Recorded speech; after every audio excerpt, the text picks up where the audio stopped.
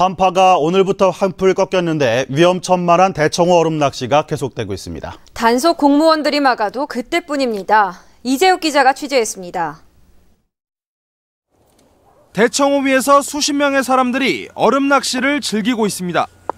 최근 계속된 한파에 대청호가 얼어붙으며 낚시꾼들이 몰려들고 있습니다. 잉어 그냥 잡으려고 하는 거지. 튀겨 먹고 그냥 먹고. 문제는 얼음 두께. 최소 20cm는 넘어야 안전하지만 두꺼운 곳이 12.5cm, 얇은 곳은 10cm에 불과합니다. 여러 명이 좁은 공간에 서자 쩍 소리를 내며 금이 갑니다. 오, 오, 오. 대청호 위에는 하얀 눈이 소복히 쌓여 있어 눈으로 봤을 때 어느 지점의 얼음이 두껍고 얇은지를 전혀 알 수 없습니다. 보다 못한 공무원들이 단속에 나섰습니다. 낚시 채비를 모두 거두시고 안전한 지역으로 이동해 주시기 바랍니다.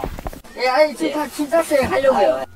하지만 단속을 비웃듯 공무원들이 사라지면 낚시꾼들은 다시 나타납니다. 아 소리 이거 나도 안 들린다니까. 다그 원래 소리 나는 거예요. 언제 어디서 사고가 날지 모르는 상황.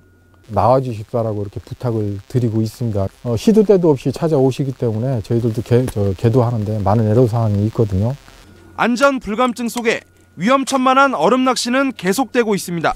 MBC 뉴스 이재욱입니다.